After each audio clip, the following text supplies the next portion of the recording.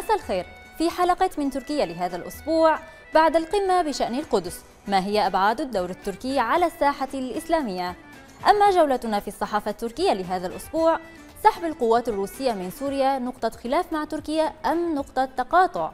وفي فقرة معكم كيف يحصل اللاجئون السوريون على المساعدات المالية في تركيا؟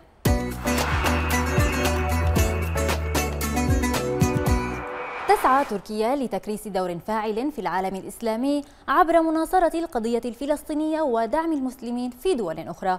ولعل دعوتها للقمة الطارئة في إسطنبول تأتي في هذا الإطار. لكن البعض يتساءل عن مدى قدرة تركيا على توحيد الجهود في ظل تحالفاتها الإقليمية. التفاصيل في تقرير سوزان سالم. سعي تركي متواصل للضغط على أمريكا للتراجع عن قرارها بالاعتراف بالقدس عاصمة لإسرائيل ونقل سفارتها إليها. فعقب انعقاد القمة الطارئة لمنظمة التعاون الإسلامي في إسطنبول صرح الرئيس التركي رجب طيب أردوغان للمتظاهرين في مدينة قونيا عن سعي بلاده لإلغاء القرار سنستخدم جميع الآليات لإلغاء هذا القرار الجائر وغير المشروع. في مجلس الأمن أولا. وإذا استخدم حق الفيتو سنتوجه إلى الجمعية العامة للأمم المتحدة.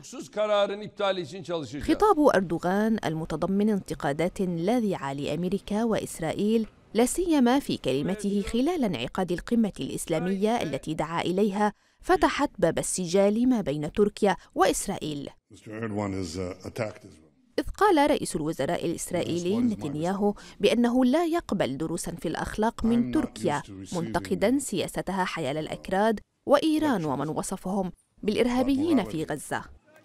ليعود إلى الواجهة التوتر التركي الإسرائيلي الذي بلغ أوجه في حادثة سفينة مرمرة عام 2010 حين هاجمت إسرائيل أسطول الحرية المتوجه إلى غزة بهدف كسر الحصار عليها وأدى الهجوم حينها لمقتل عشرة ناشطين أتراك.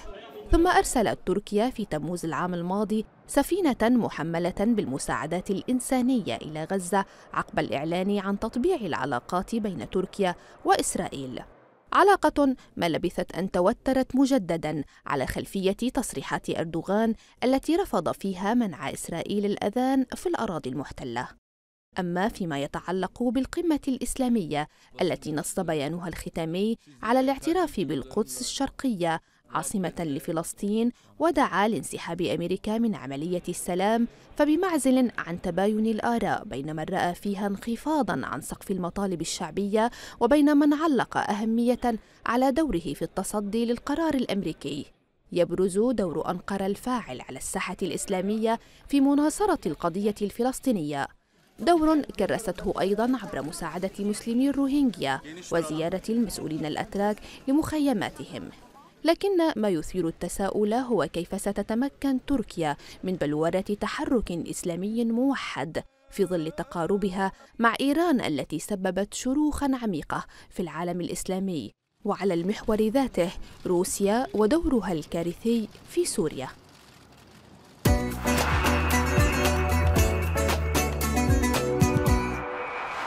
لنقاش هذا الموضوع. أرحب بضيفي في الاستوديو الأستاذ عبد الوهاب الكنج رئيس الجمعية العالمية لتضامن العلماء المسلمين. أهلا بك أستاذ عبد الوهاب. أهلا وسهلا بكم. بارك الله فيكم. الله يخليك. أستاذ يعني كما شاهدنا في التقرير علاقة تركيا بإسرائيل مرت بعدة محطات. هل هناك محطة توتر جديدة بين تركيا وإسرائيل بعد القمة الإسلامية؟ طبعا هناك يعني كما أشرتم إليه تطور جديد آه، وموقف تركيا هو موقف آه، طبعا يجب أن يأخذ هذا الموقف. كل من آه، يقول أنا مسلم أو أنا دولة مسلمة نحو هذا القرار الذي أخذه ترامب. وهذا وهذا الموقف طبعا يعني لن ترضى ولا ترضى بها إسرائيل.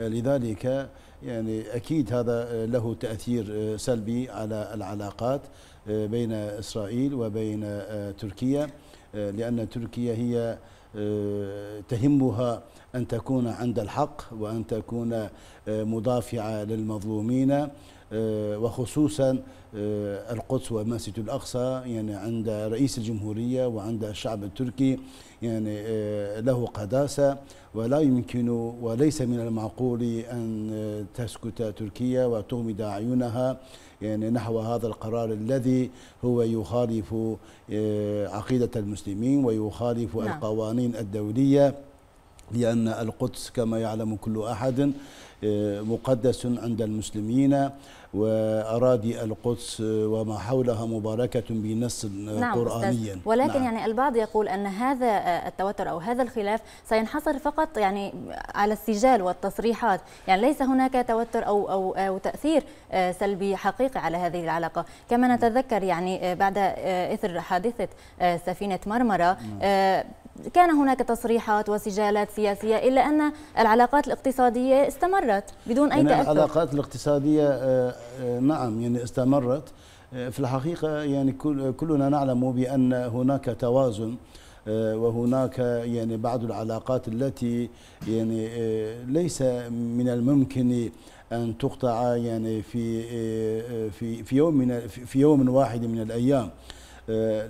تركيا مع رئيسها ومع حكومتها وشعبها آه، ليست راضية يعني عن وجود وعن احتلال الموجود يعني في الأراضي المقدسة. وكلهم يحسون ونحن جميعا نحس بأننا أحفاد يعني صلاح الدين وأحفاد محمد فاتح وأحفاد عبد الحميد رحمة الله عليه الذي ضحى بكل شيء لأجل أن لا يتنازل عن الأراضي المقدسة. التوتر التي حصل من قبل بين تركيا يعني ليس لم يكن توترا منحصرا في الكلمات. كان له انعكاسات على الواقع أيضا مع مع وجود بعض العلاقات. ولكن هناك علاقة تختلف عن العلاقه الأخرى. هناك تجارة تختلف عن تجارة أخرى. آه، ولكن هذا هذه آه، المأساة وهذه الظروف التي الآن آه، نعيشها كالعالم الإسلامي وتعيشها تركيا. تركيا هي مصرة يعني ببعض الخطوات التي نفذتها وبالكلمات بالكلمات التي نحن نسمعها من سعادة الرئيس نعم. رجب طيب أردوغان.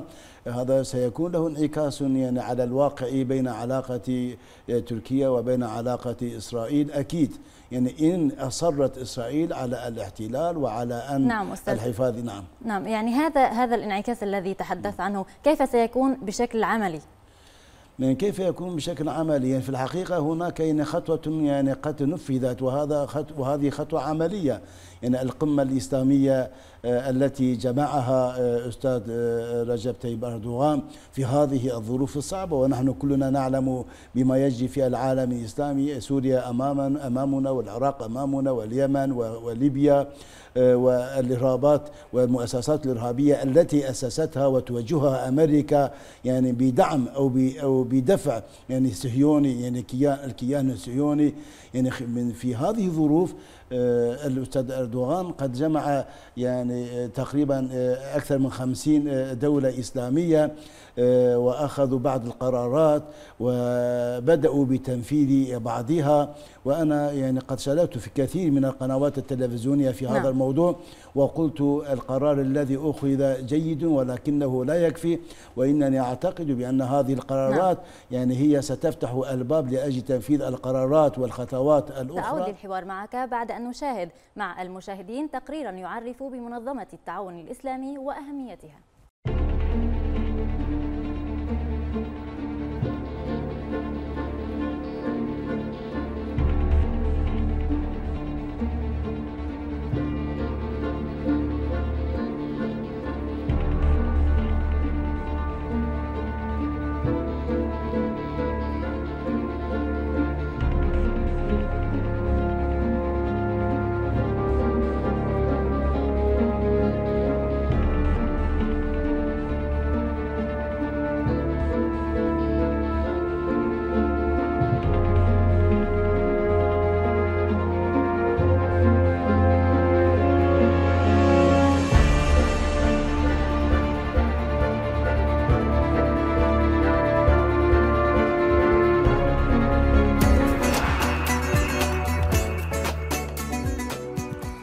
أستاذ يعني الآن تركيا لديها علاقات قوية مع إيران التي زاودت على الفلسطينيين أنفسهم بقضيتهم ومسلكها على الأرض يعني يناقض ذلك هل هذا التحالف سيؤثر على الدور التركي في العالم الإسلامي؟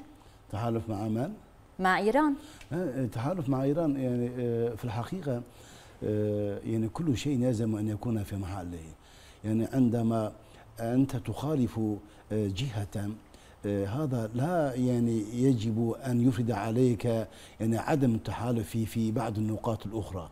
يعني فكما أن بين الجمعيات والمؤسسات يجب أن يكون هناك تعاون وتناسل مع اختلاف وجهاتهم ومع يعني اختلاف اجتهاداتهم وأفكارهم ومصالحهم. هكذا بين الدول يجب أن تكون كذلك.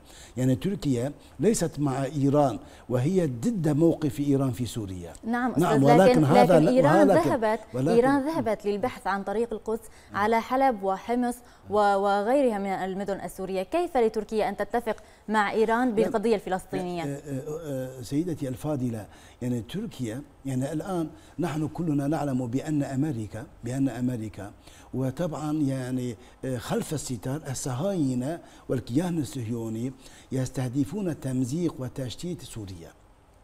يعني هذا أكيد يعني من خطتهم أن يفتحوا الباب أمام الكيان الصهيوني لأجل أن يسيطر على ما بين النيل والفرات سيطرة سياسية واقعية.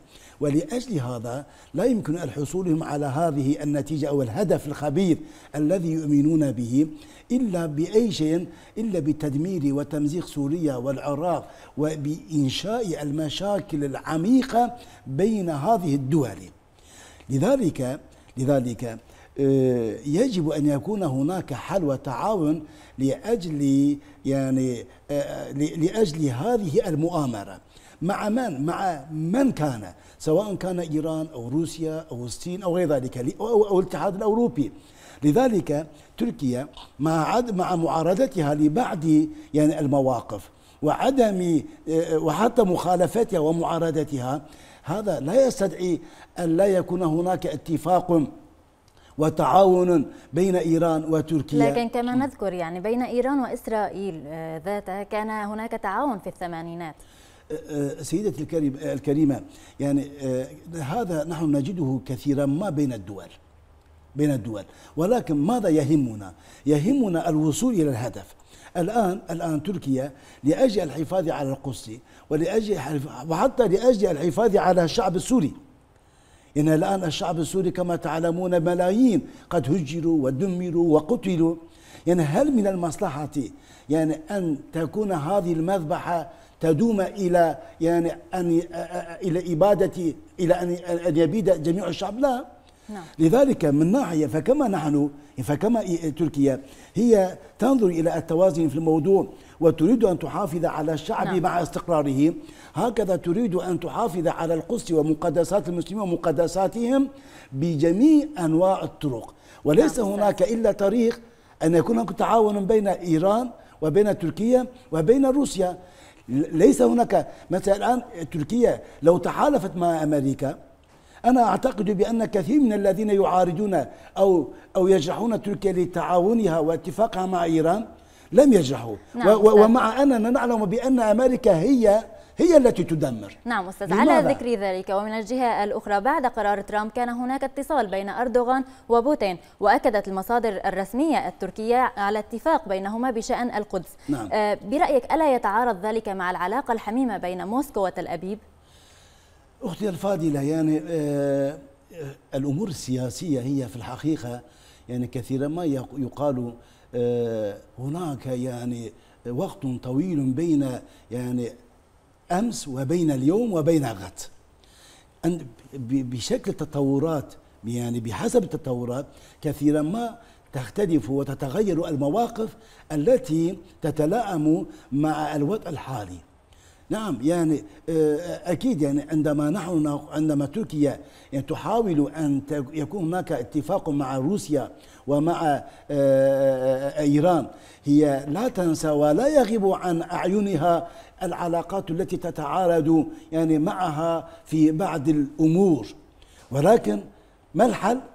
يعني هل تعميق تعميق المعارضة في مصلحة المسلمين والقضية أم تخفيف المعارضة ونتعارض فيما نتعارض نعم. ونتفق في المصالح المشتركة وتركيا مصلحتها باعتبار أنها يعني آه، أنها يعني تعمل آه، آه، تعمل إيمانا عميق بالإسلام وباعتبار أنها مسلمة نعم. وباعتبار أنها دولة لها سيادة ولها يعني احترام يجب يعني تستهدف تركيا أن أن تحرر القدس وفلسطين نعم أستاذ ليس يعني في لذلك لذلك يعني ليس هناك يعني حل إلا أن يكون هناك يعني بعض التحالفات في بعض النقاط المشتركة سواء هذه تتعلق بسوريا نعم. سواء تعلقت بألقدس يعني نحن نعلم بما قامت بها آه، آه، إيران في في في في, في سوريا. أستاذ بهذا الكلام نكون قد وصلنا لنهاية محورنا لهذا اليوم، جزيل الشكر لك أستاذ عبد الوهاب الكنج كنت معنا هنا.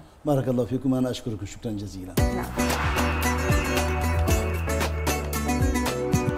والآن مشاهدينا جولتنا في الصحافة التركية مع الزميلة سوزان سلمي سوزان يعني آه، كما نعرف هناك كانت زيارة خاطفة لبوتين إلى أنقرة كيف انعكس ذلك على الصحافة التركية؟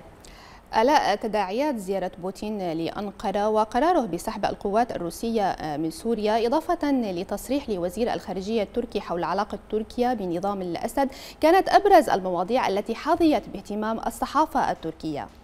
مشاهدينا بعد الفاصل ما تداعيات زيارة بوتين لأنقرة وقراره بسحب القوات الروسية من سوريا؟